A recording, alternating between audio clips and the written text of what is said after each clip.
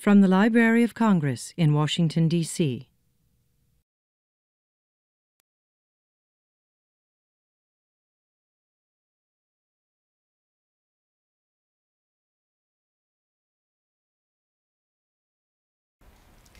Good afternoon. Welcome. This is a very special occasion for we are launching our fourth year of this series for African poets and writers.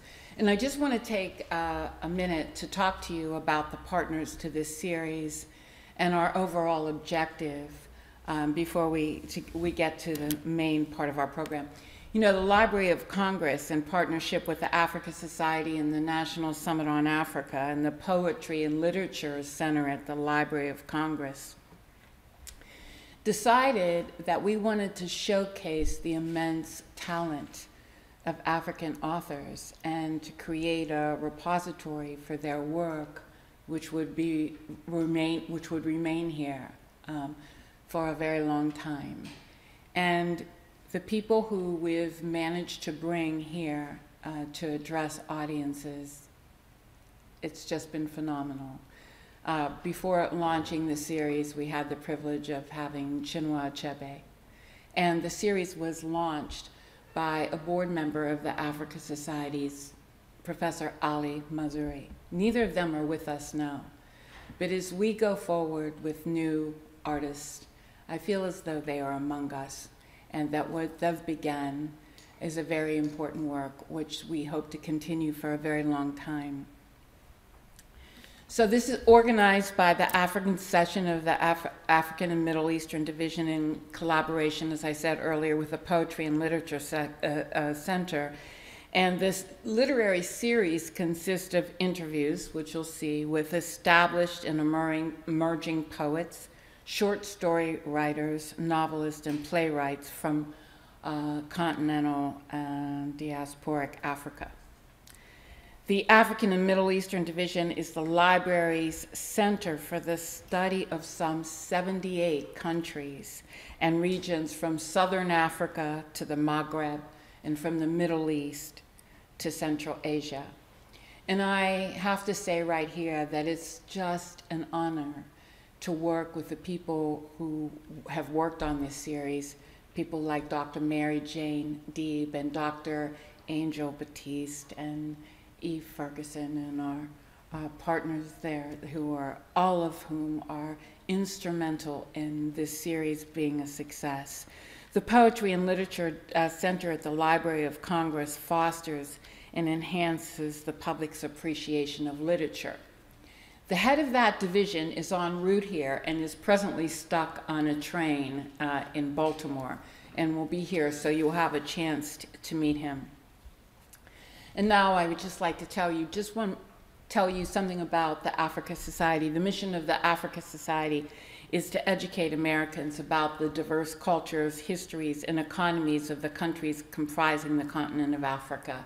And we do this through a series of uh, programs targeted to young people, Teach Africa program, where we've reached over 10,000 students to the Ambassador Andrew Young Lecture Series, to films that we've done with the Travel Channel with African heads of state that in the past have reached 200 million viewers per segment worldwide.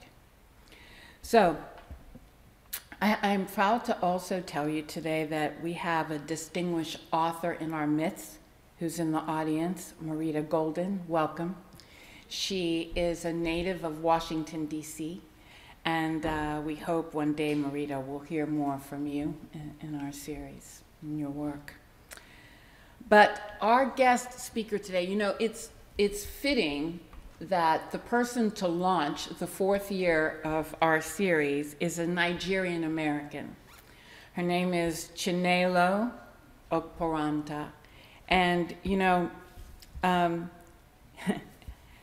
that Nigeria is one of the powerhouses of Africa and Africa's most populous country.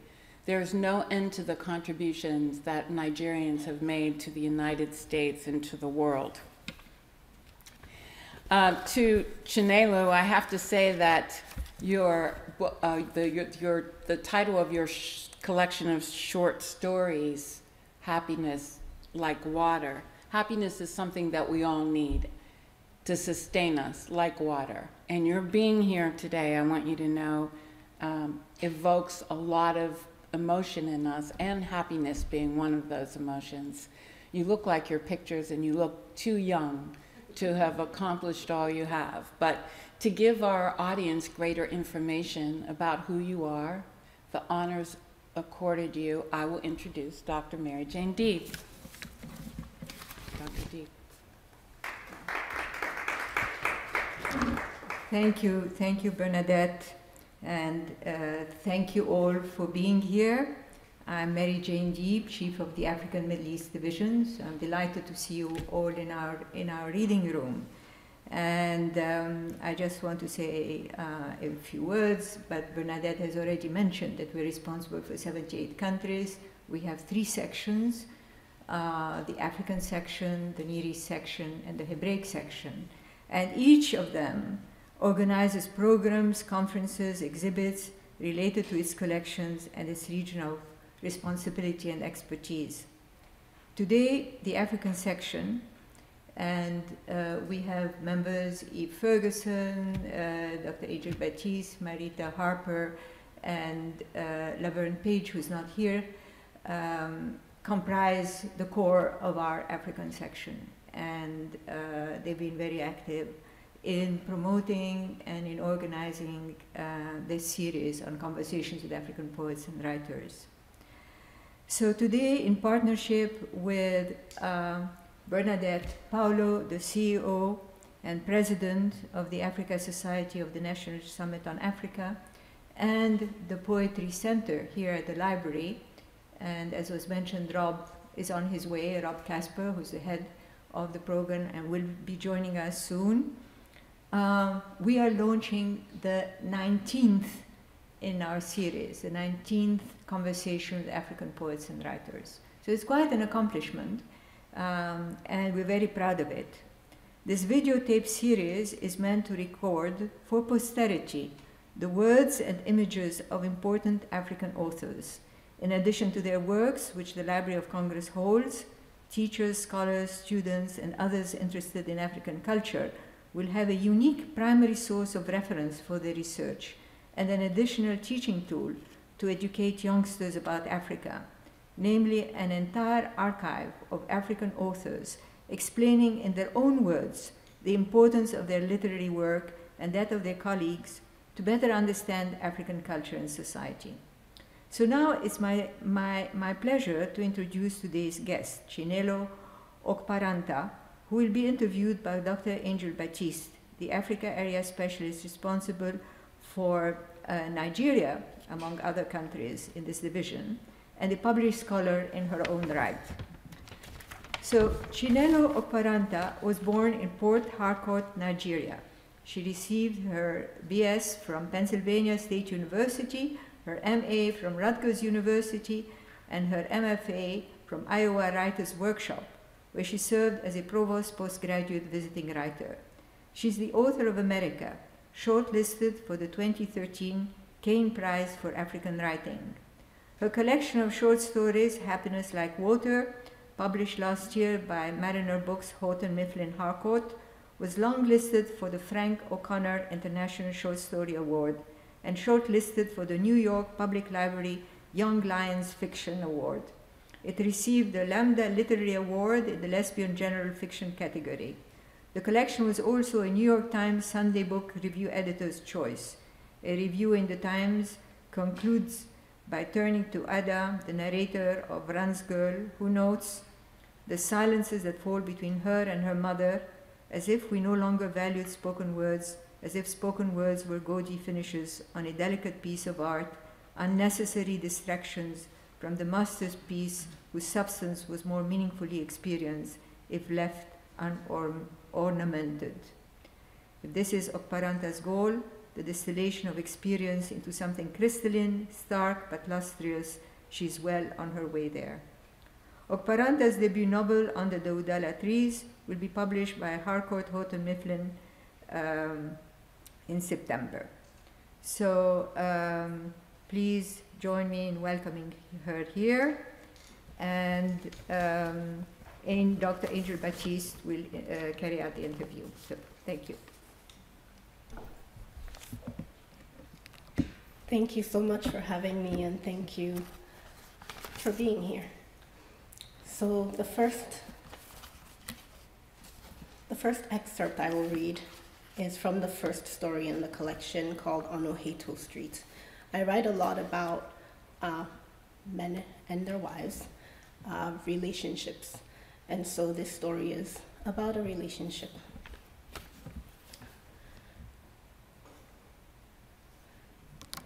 The evening the robbers came, Chinwe and Eze had attended the kingdom hall. She had not fallen asleep, so Eze had not scolded her afterwards. But the story goes that when they returned home, she went into work in the kitchen with the house girls to prepare dinner. For one reason or another, the meal had turned out too spicy. There was the hot scent of crushed peppers in the air throughout the bungalow, and when she and Eze sat down to eat, their tongues seethed from the heat of the peppers. That gave Eze all the reason he needed to be cross with her. That night, the night of the robbery, Chinwe fell asleep in a sad state, still smarting from Eze's scolding. She fell asleep to the sound of the floor fan, which stood at the corner of the room, humming softly with each oscillation like a lullaby. Usually she opened her bedroom windows halfway at night, and as she fell asleep, she listened to the sounds of the guava and plantain trees just outside, their leaves rustling in the breeze. But that night the air was still, and with the scent of crushed peppers strong in the air, traveling down their nostrils and into their throats, causing them all to cough dryly, something had to be done. It followed that Chinwe turned on the fan and opened the windows all the way. Also, she left the door to their room open, the door that led to the corridor. She awoke to the sound of shattering glass and to the sight of two men entering the room. The room was dark, but owing to the moonlight which crept in through the open windows, she could see that the men were masked. There was a metal safe that Eze kept in the bath in the bottom shelf of the bedside table. One of the men went straight to the safe, picked it up, pointed the gun at Eze, ordered him to open up the safe. Of course, Eze refused. The man held the gun even closer to Eze's head. There was a clicking sound. Chinwe screamed, begging the man to stop. The second man, who had until then been lingering at the doorway, made his way to her side. She could not see the look on his face owing to the mask that he wore, but it must have been sympathetic because he tapped her on the shoulder and told her not to worry, that everything would be fine if she would only open the safe for him. So she grabbed the safe from Eze, dialed a combination, and opened it up herself. She spilled its contents onto the white, white bedding, tangled up necklaces of gold, rings whose jewels shone in the dark. And then, of course, there were the wads and wads of naira bills, which the men stuck into the bags that hung from their shoulders. Good work, the second man said, patting her on the shoulder when he was done bagging the items. But still, his gun found its way behind her head. So that night, the robbers hold their guns behind Chinwe's and Eze's heads and lead them out into the corridor. Chinwe watches as Eze struggles with his robber, refusing to move so that the man has to shove him forward. She knows that the house girls are in the quarters at the back of the house. She wills them to appear, to somehow appear and scare the robbers away. She wills them to hear, but it doesn't seem that they hear a thing. Chinwe and Eze stand quietly in the corridor for a while, Chinwe listening to the sound of the oscillating fan. Even though it is a distance away, its sound is loud because, of course, everything is quiet now. After the silence, the robber holding the gun to Eze's head says, that car outside, the white one, I'll be needing the keys.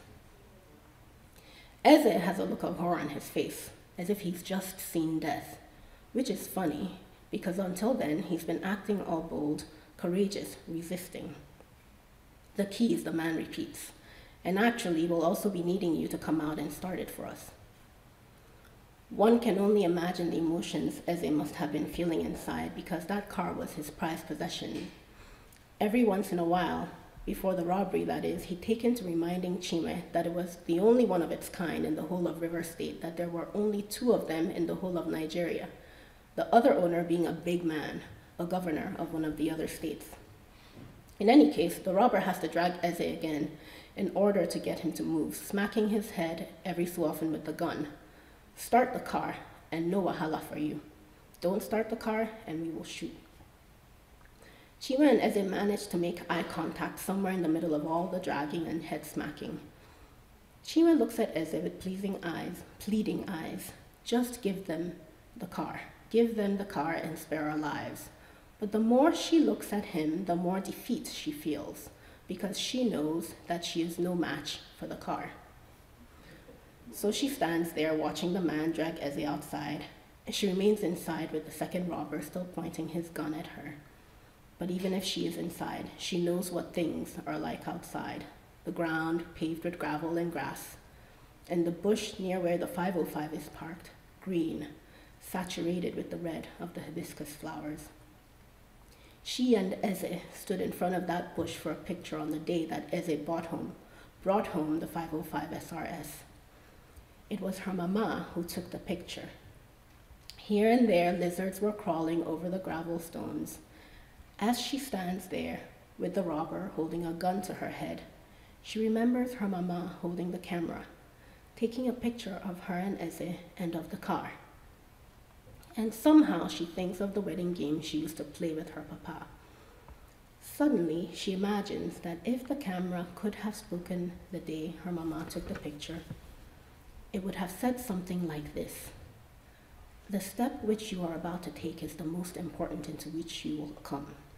Do you take this car to be your wedded wife as long as you both shall live? And Eze would nod ecstatically at the camera, and he would fervently say, I do. And that answer would be correct. In any case, the way she tells the story, some more time passes, quiet time, and Chinwe allows herself to get lost in her thoughts. She moves on from the memory of the wedding game and she remembers that the police station is not too far down the street. She starts to think that maybe one of the police officers will somehow see or hear something. She also thinks of Ehoro, the estate's owner. She remembers that he had begun carrying a gun the moment the threat of the robbers became real, around the time that they held the anti robbery collection meeting. She becomes hopeful that someone, either a real police officer or Ehoro himself, will come to the rescue. She hears the gunshot then.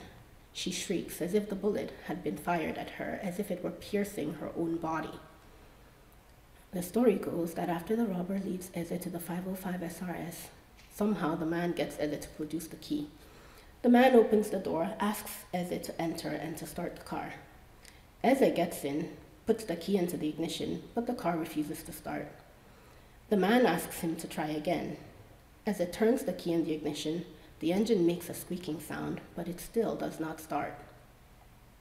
Meanwhile, it holds his hand up in the air at the sides of his face, shakes his head, continues to shake it, as if he does not know why the car won't start. The man pulls Eze out of the car, drags him to the Land Rover, which is on the other side of the front yard. He believes that Eze is purposefully doing something to prevent the car from starting, and he is right. In any case, when he's dragged Eze to the Land Rover, he asks Eze to raise his hands over his head, all the way up, as if Eze himself is the criminal, as if he is under arrest.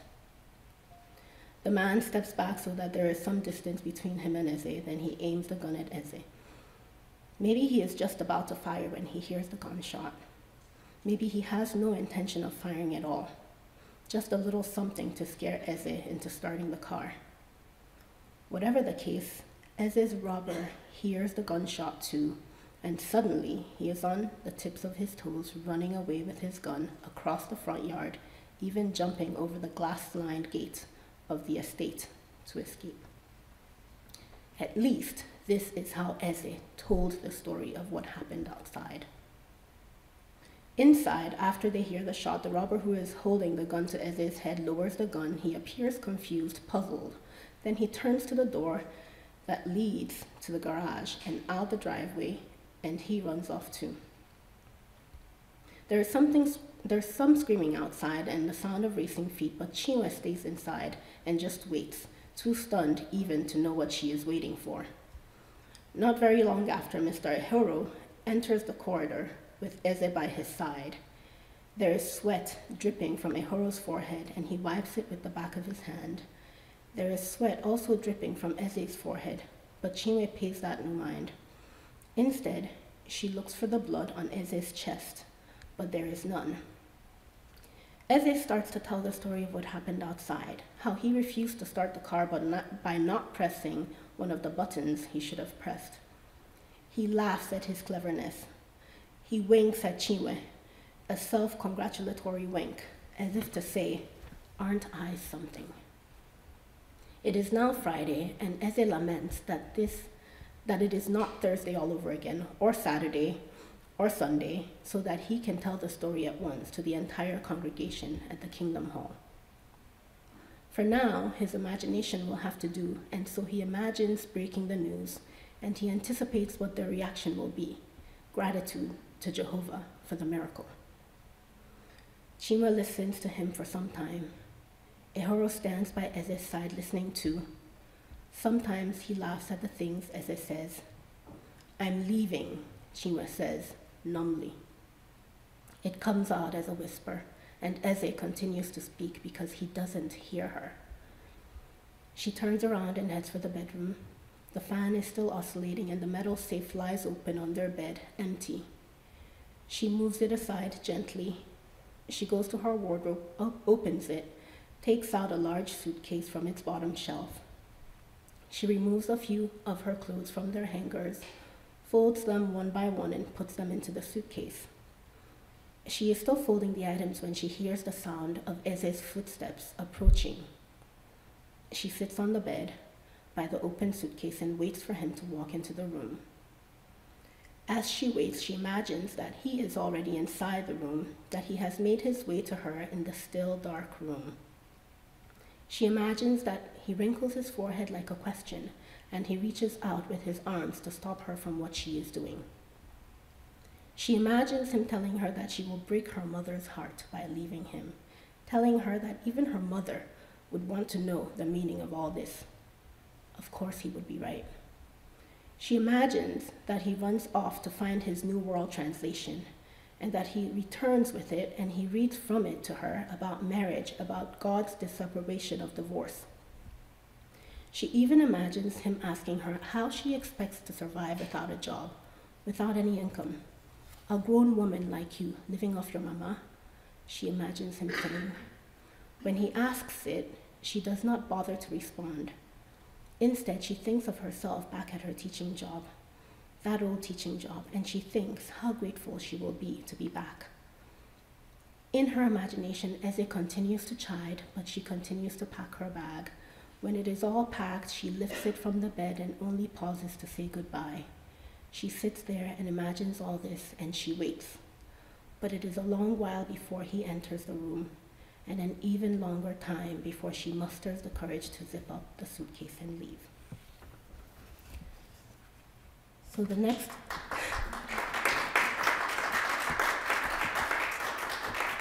Thank you.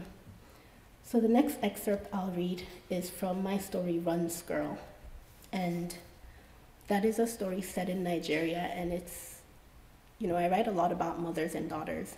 And so this story is about a mother and daughter relationship. Um, the mother falls ill and the daughter has to figure out a way to take care of her mother. Um, I'm just going to read the beginning. The year Mama fell sick was the year Njideka confessed to me that she was a runs girl. I should have known. She walked around campus with shiny silk blouses hanging low on her shoulders, her stilettos making tiny dents in the earth.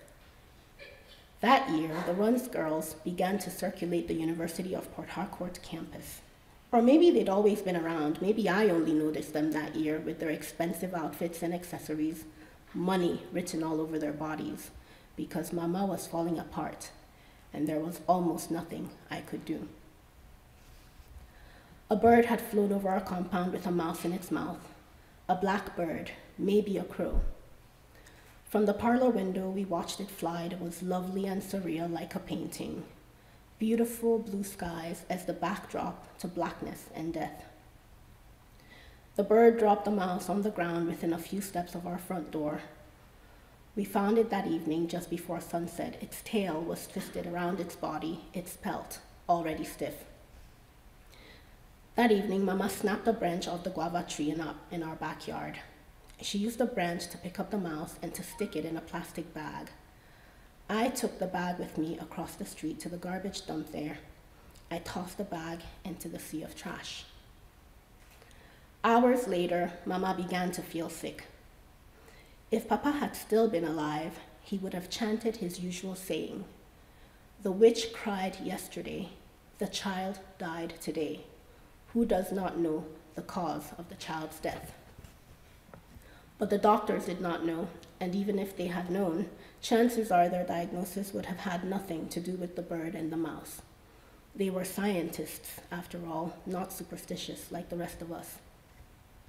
It began with pain on the shoulder. Mama decided that for dinner we would have some goat meat in pepper soup with more than the usual amount of utazi leaves. The leaves made the soup bitter. Mama said that the bitterness, in combination with the pepper, would chase the pain away. But the next day, she could barely move her left arm. We should have gone to the hospital straight away, but Mama said to hold off. They would charge us 2,000 naira just to see the doctor. That was the amount they charged the last time we went, when Mama was having all those sweats, followed immediately by chills. That time, the doctors ran their tests and told her she was fine. 2,000 naira wasted, nothing fixed. There was no telling that the doctors would solve the problem this time. Besides, Mama was certain it was the curse of the blackbird. Nothing a little praying and Bible reading couldn't fix, she said. So that second evening, we read the Bible together more fervently than ever. Nepa had once again taken light, but there was still a little glow from the sun coming in through the windows of our parlor. We knelt on the tile floor, our bodies resting on the seat of the couch. Happy is the man whom God correcteth. Therefore despise not thou the chastening of the Almighty, for he maketh sore and bindeth up. He woundeth, and his hands make whole. He shall deliver thee in six troubles. Yes, in seven there shall no evil touch thee. Mamma's voice shook as she read, and the mosquitoes flew about the room, making soft whistling sounds near our ears. Suddenly, Mamma was no longer reading, and I was looking up to find her swatting the area around her head. And then she let out a piercing shriek, a sound I hope I never hear again for as long as I live. When night finally came, Mamma's moaning had still not stopped. Hours passed, but there was no sleep for her, and no sleep for me. The pain was somewhere in her torso, she said, on the left side, between the upper shoulder and the lower back. She could feel it also in her front, just as she would expect a heart attack to feel, except there was no indication that her heart was the part in which the crumbling was taking place. It seemed the heart would be just fine, she said. Yet I observed the signs. All of them were far from promising. In the end, it was I who forced her to go to the hospital. We walked out the door early the next morning, taking small steps, my hands fastened securely around her waist. Slower, Ada, Mama said. I tightened my grip on her. Ndo, I said. Sorry. And the final excerpt I will read is from my story, Fairness, also a story in the collection. And fairness is about beauty. And beauty, as we all know, is an important topic. And not just physical beauty, but also inner beauty. Um, and this story tackles both there's a way in which when we first read the story, we think of, you know, children obsessed with physical beauty, but we also look at the story and we see the way the ways in which we teach children to be obsessed with physical beauty, but also in a way that damages their inner beauty. And so it's a sort of story like that. Um, it also deals a lot with social hierarchies, although people don't usually don't usually see that when they look at the story. It's kind of a gruesome story, so you can't help but focus on the the cruel aspects of it, I guess. In any case, here we go. Inside the bathroom, the air is humid and smells clean, purified, a chemical kind of fresh. There is no lock on the door, but we make sure to close it behind us. Eno holds the towel and stands back, but I call her to me because I am again finding myself skeptical of the water and of the bleach. In my imagination, I see Clara's suspicious eyes and I hear Boma's disbelieving laugh. Fear catches me, and I think perhaps we should not bother. Perhaps we should just pour everything out. But then I hear Mama's voice saying, Foolish Eno, dummy Eno. I take the towel from Eno. You should go first, I say. It is a deceitful reason that I give, but it is also true. Because you're not supposed to be here. That way, you'll be already done by the time anyone comes to chase you out. Eno nods. She concedes straight away. She gets on her knees, bends her body over the wall of the bathtub so that her upper half hangs horizontally above the tub, so that her face is just above the bucket. We'll do the face today, I say. Dip it in until you feel something like a tingle. She dips her face into the water. She stays that way for some time, holding her breath. Even if I'm not the one with my face submerged, it is hard for me to breathe.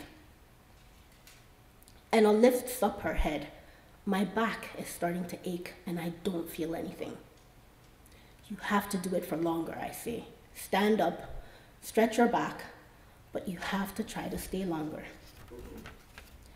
Eno stands up, she lifts her hands above her head in a stretch. She gets back down on her knees, places her face into the bucket again. Only get up when you feel the tingling, I say. Time passes. Do you feel it yet?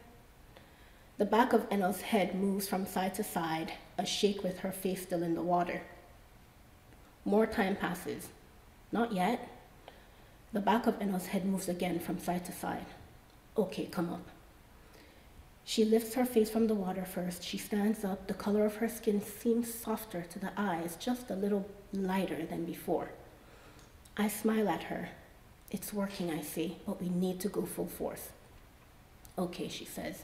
Good. She watches as I pour the liquid from the bucket into the tub. We both watch as the water drains. We listen as it gurgles down the pipe. I take the bucket out of the tub, place it in a corner of the bathroom by the sink. The bath bowl is sitting in the sink. I pick it up, hold it above the tub, pour the bleach straight into it. I get down on my knees, call Eno to my side, tell her to place, the, place her face into the bowl. She does. Only a little time passes and then she screams, and her scream fills the bathroom, saturates every tiny bit of the room, and I am dizzy with it. Then there is the thud and splash of the bowl in the tub. Then there is the thud of the door slamming into the wall. Ikaite rushes towards us, sees that it is Eno who is in pain. She reaches her hands out to Eno, holds Eno's face in her palms. Eno screams, twists her face. Her cheek, her cheeks contort as if she is sucking in air. She screams and screams. I feel the pain in my own face Ikaite looks as if she feels it too, and for a moment I think I see tears forming in her eyes. Papa looms in the doorway, then enters the bathroom. He looks fiercely at me. He asks, What did you do to her? What did you do? In the doorway, I see Mama just watching, her eyes flicking this way and that. What did you do? Papa asks again. I turn to him pleading, wanting desperately to make my case, but I don't find the words. I turn to Mama. I beg her to explain. She looks blankly at me, a little confusion in her eyes. I stand in the middle of them, frozen with something like fear, something not quite guilt. By then, even Emmanuel has made his way into the house, abandoning his post at the gate. He stands just behind Mama, and his peering eyes seem to ask me that same question What did you do? My legs feel weak, and I turn to Eno. I smile at her. I think of Mama and her creams. Don't worry, I say.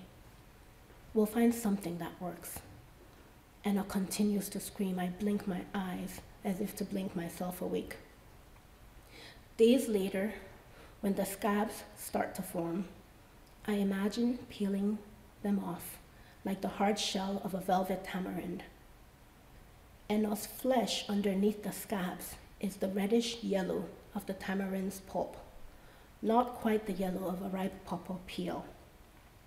And even if I know that this scabby fairness of hers is born of injury, a temporary fairness of skinless flesh, patchy and ugly in its patchiness, I think how close she has come to having skin like Onyechi's, and I feel something like envy in me, because what she has wound up with is fairness after all.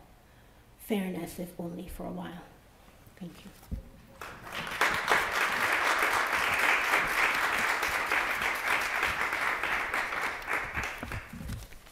Thank you. We thank you, Chinelo. Thank you. I've been trying to pronounce her name correctly all morning, so I hope I'm getting close. Um, We thank you, and we congratulate you on your debut collection, Thank you. Happiness Like Water. I'd like to start our interview by asking, uh, when did you actually start writing? Why did you turn to fiction and the short story format? Well, um, I might have written stories as a child, but I actually don't remember writing stories as a child. What I remember is my undergraduate uh, studies at Penn State University, and I remember that I, I took a few creative writing courses in English, but also when I thought about it, I took some courses in French as well. Um, I took, I, I had tested out of beginning and intermediate French courses, and so I had to take advanced French courses in college. And so I took some creative writing courses. And I guess part of why I might have done that was because when you think of it, many, many African writers are Francophone writers.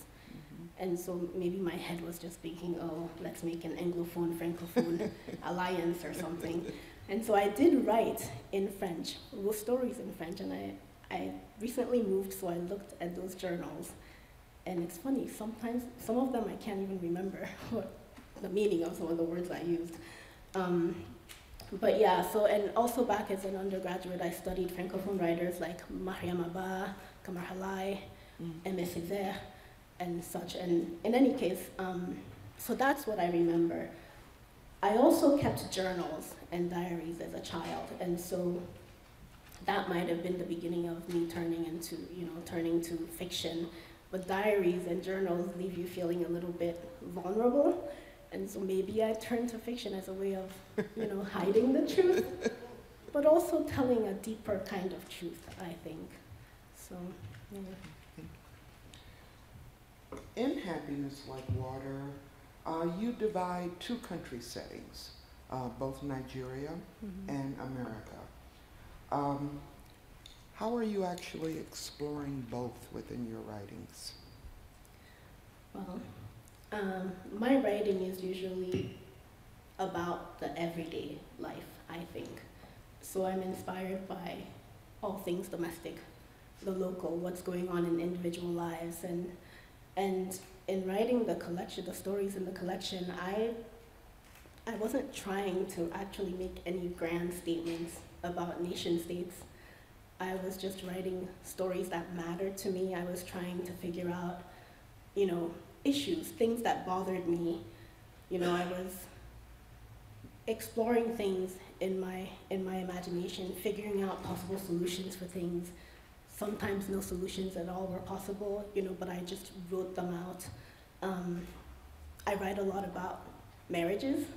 Um, my mother was in a very abusive marriage, and so I think that was something really heavy on my mind when I was writing the collection, and so that came out as well. But um, I think I just wrote about issues that mattered to me in the end, and you know, any grand statements made themselves. Really, I wasn't actually trying to make those statements. Can you talk to us a bit about the Nigerian literary scene and about the uh, literary scene amongst the Nigerian diaspora? And where do you actually fit in both of these literary worlds? Well, there are people like Chimamanda Adichie, Teju Cole, uh, recently Taiye Selasi, Mhm. um, Sefi Atta, Chika Unigwe. There are many Nigerian writers who share this Nigerian USA connection. Mhm. Um, I can't, I'm not a spokesperson for the Nigerian literary world. Neither am I a spokesperson for literature in America. But um, I, it doesn't appear to me, it doesn't seem to me that any of the writers I mentioned, you know, write for any particular like trend or they're not writing to fulfill any, you know, gaps in literature, or what you know, whatever you, you people like to call it. Um, and the other thing about trends anyway is that you know it takes a while to write a book, and so if you're writing for a trend, chances are the trend would have run its course by the time your book comes out. So that's usually not a good idea. I myself am not a very trendy person, and I'm kind of reclusive actually, and so I wouldn't know what the cool thing is to do. But um, so I just again I just write what what matters to me. I think what these Nigerian authors are doing is that they are writing about urgent things. You know, I think that what people want these days is a sense of something important, something that matters. And I think many of these writers are writing important things and things that matter. I also think that many readers want to read books where they feel they, they have a connection, they can connect with these characters, they can connect with, you know, the topics that the writer is writing about. You know, we live in a world with so many, you know, means of communication, modes of communication. Technology is just amazing these days, and yet we have people who don't feel any real connection to to others. And I think literature is a way by which we get this sense of like connection to the rest of humanity. And I think people are reading so that they can, you know, connect. And so I don't know. My work, where does it fall? I really don't know. I, you know, I, I'm writing very urgent things, I think, and I think that's important. Major issues? Right. And I think that, you know, that's a good thing. In your works, you explore gender roles, sexual orientation, domestic abuse, and all of these draw headlines, again, both in Nigeria and in America. Do you think that your fiction allows the reader to understand these issues better? Yes, I do.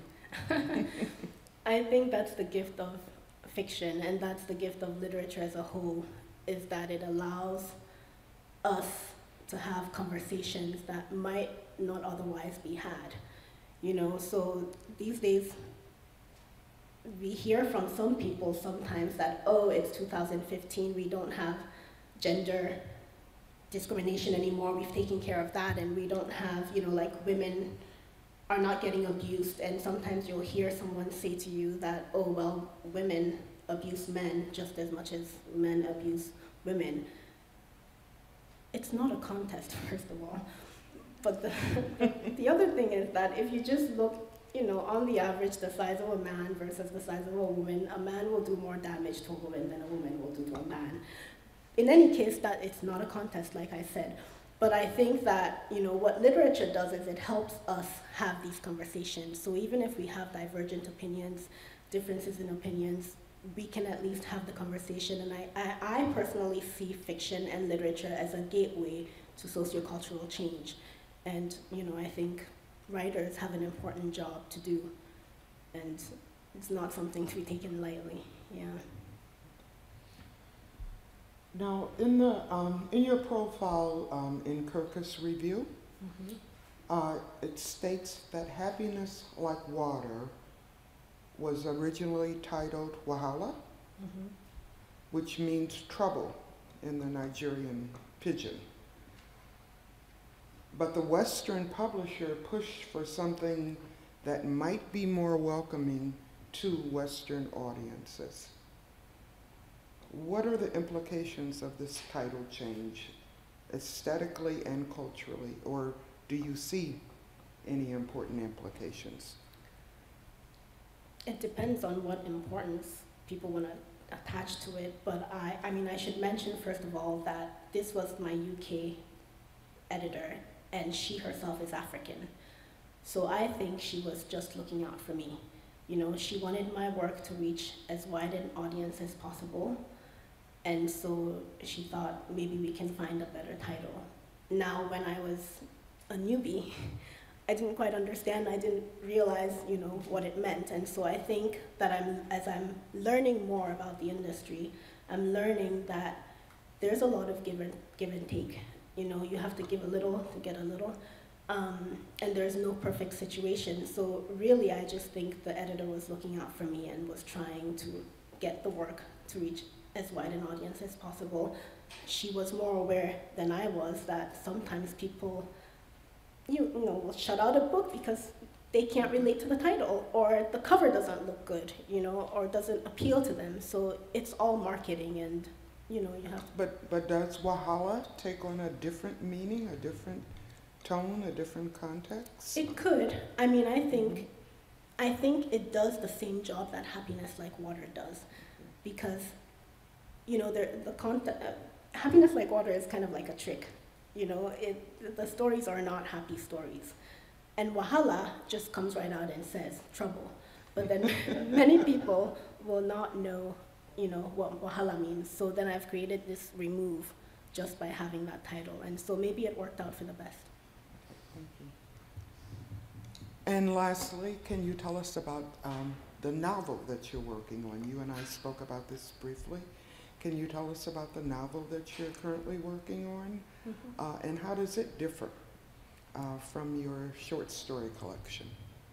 Well, for one thing, it's a novel, and so that means that it's the hardest thing I've ever had to do.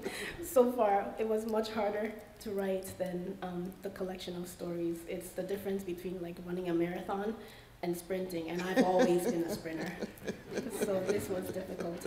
Um, but um, it's also different in the in, in the sense that it is it's a war story. So it's a family drama that starts off in the late 1960s, which is the time period for the Nigeria Biafra Civil War. And so it starts off then and follows the family till like 2014. Being the love story or the war story that it is, it's also a love story. Many war stories are love stories, mm. but what makes it different is that it, I think it it's an unusual love story. It's not a love story I've ever seen anybody write about, not in conjunction with the war anyway. And so, um, yeah, it also tackles the topic of religion more forcefully than I do in my collection. And you know, I, my reasoning behind that was that I wanted to have the discussion of human rights, but you know, many Nigerians are very religious, and so I wanted to have that conversation on their platform of religion to see if it could maybe make a difference. I don't know. You know, I'm yet to find out what the conversations will be. Um, but I wanted to step, you know, into the more into the grounds of religion and see if we could have a conversation about human rights that way. We, we look forward to your new work. Thank you. Um, at this point, we'll have about five minutes uh, for questions. Uh, so if we have quick questions to pose to Chinelo.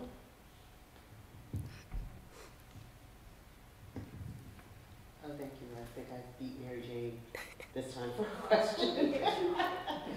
um, I wanted to ask you about, in your short stories, a lot of them have like a shock factor. Um, where does the shock factor come from? And did you intend to write where people don't know where the story is going and all of a sudden there's the shock factor? No, I did not intend to write it that way. I'm actually sometimes surprised when people say it was surprising because to me, it felt almost inevitable that that was where the story is going. There have been maybe a few people who say, oh, we know what's going there, but then they also say, um, but they didn't expect such and such. And to me, I guess these stories came naturally to me, and so I knew what the ending would be from quite a few of them before I got there, so I guess I wasn't shocked, but it's good that you were, I guess.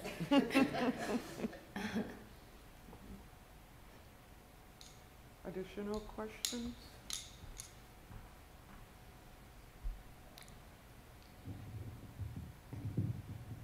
Kind of a two-part question. Um, one is I wondered if you could talk a little bit about um, the sausage being made, as we say, like the writing process, what your writing process is like on a given day or week. Um, and number two, um, you mentioned a number of Nigerian writers, and I wondered if um, if there were any American writers, short story writers, um, that had a particular influence on your sensibility and style.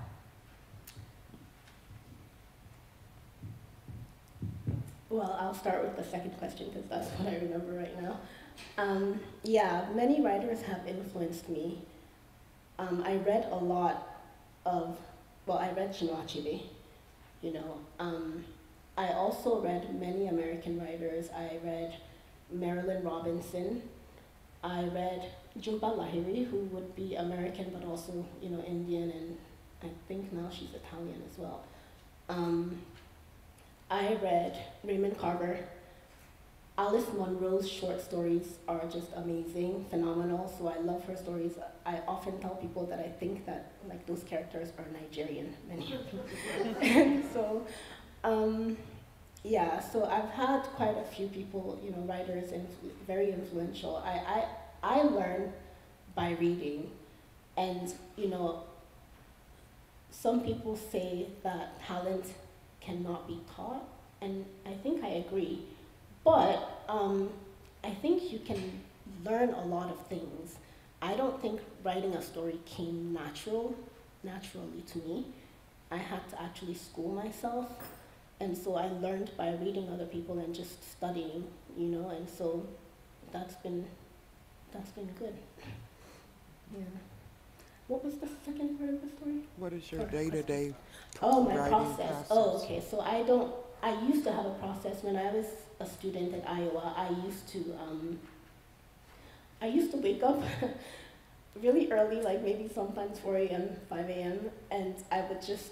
I'd sleep with my laptop at the foot of my bed, and I would just pick it up and start writing, and I wouldn't stop until I really had to use the bathroom or something. And so that might be like, you know, four hours later or, and you know, when you're sitting and you're not moving, you don't actually feel your bladder that much. So like you'd have to stand up to like know that you have to go or something.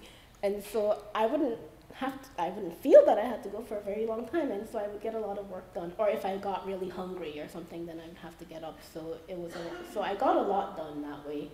Um, I don't have that kind of a thing going on anymore. Now I just write whenever. And even then, I wrote because I felt compelled to write. I don't think you should write by forcing yourself to write.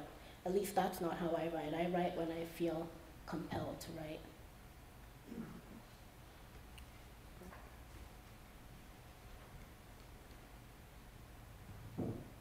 Thank you.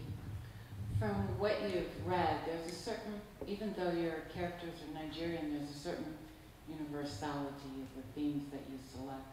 And now that you're in America, do you think that it's like a blend of Nigerian American um, experiences that are interwoven in your writing?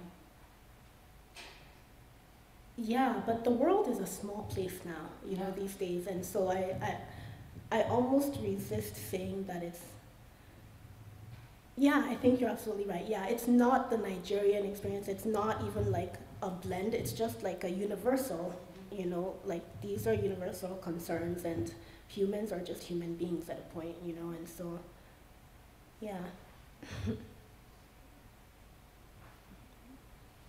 One last question. So I can, then- so I, I, you may have said something about this. Have you thought of, have considered writing as a form of protest? You know, I mean, various African countries, there are all kinds of social problems, corruption in government. So have you thought of using your pen to write about that? To write about socio-political problems? Oh, I do that already.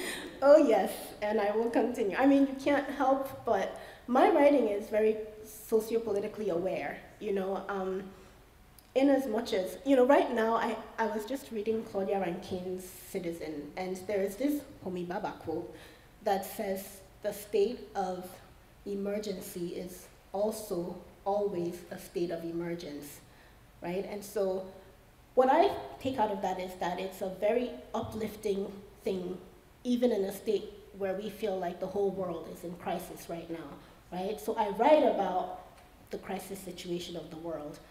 I write about the fact that, you know, horrible things are sort of happening when, you know, Boko Haram is killing people and stealing girls and horrible things are happening in the US as well where, you know, people are running a marathon and the bomb like just explodes. You know, I write about these things but in a way that hopefully highlights the fact that we need to get somewhere. You, we need to make some changes. You know, it's not just a Nigerian issue, it's not just a US issue. You know, these things are the worldwide issues that plague us. And so to answer your question in a very brief way now is I just say yes, I write about all of these things. We do have one last question from a fellow writer, so I think it's important to grab this one. Well, congratulations, Janelle. Thank you so much. And um, I'm Marita Golden, a writer also, and uh, co-founder and president and executive director of the Hurston Wright Foundation. And for 25 years, we've been presenting workshops and national programs that honor the diasporic community of black writers. And we're very pleased that this summer, when we reintroduce our week-long workshop, Chinelo will be teaching a fiction workshop along with Terrence Hayes, who's going to do poetry, Wil Haygood, creative nonfiction, and Breena Clarke, fiction. So we're really excited about having Chinelo do this workshop in July. And um, anyone who'd like information about our workshops, I'm here. I can add you to our mailing list. And for the lady who asked about process, I'm in the process of reading a wonderful book called The Art of Slow Writing by Louise DeSalvo. And it's 50 very short chapters, two to three pages, about everything time, creativity, and how we need to honor that writing is a slow, spiritual, wonderful process. Thank you. Again, we thank you, uh. Uh, books will be available, um, Happiness Like Water. The collection is available in the back, and the author will be signing the work. Thank you. Thank you so much for being here.